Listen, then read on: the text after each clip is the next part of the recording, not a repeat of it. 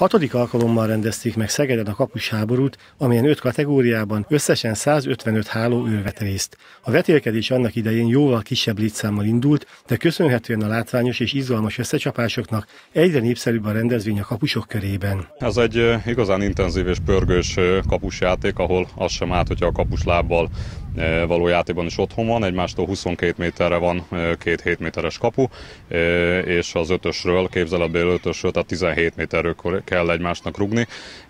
A cél az, hogy 5 gólt elérjen valamelyik kapuvédő, vagy pedig 5 percig tart a játék, hogyha ez alatt döntetlen, akkor nyilván jön a szétlövés és büntető, és hát csoportmérkőzések után egyenes kieséses szakasz, majd pedig hármas döntő vagy, vagy páros döntő. A 14 évesek között a Nyíregyházi Talján László bizonyult a legjobbnak, a 35 év fölöttiek között Szabó Attila második, Tuska János pedig a harmadik helyen végzett. Utóbbi szakember a közelmúltban két nemzetközi rendezvényen igyekezett bővíteni tudását. Mind a két kapus konferencia megmutatta, hogy jó úton haladunk. Mind a kettőben volt felnőtt és utánpótlás kapusképzésről is szó. A madridi konferenciára a Feckó Tamás által sikerült kijutnom, a, a Zergi lengyelországi kapus konferenciára pedig I. és Dani szövetségi edző barátom jó voltából.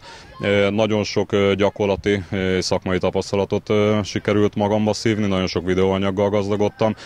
Megláttam azt, hogy a világ elitje, Barcelona, Juventus, Real Madrid kapusedzői hogyan dolgoznak. Nem, én azt gondolom, hogy, hogy feltételrendszerben vagyunk még lemaradva, viszont a, a szakmai dolgok azok, azok közel hasonlóak. Mentalitásba kell egy kicsit változnunk, de én azt gondolom, hogy jó úton haladunk. Tuska János a jövő héten egy egri kapustáborban vesz részt, majd július közepén elkezdi a munkát a Bozsik Akadémia kapusaival. Az U10-es korosztálytól az U19-es korosztálya bezárólag valamennyi hálóőr fejlődésért a vezető kapusedző felel, emellett három korosztály régióválogatottjánál is dolgozik a szakember.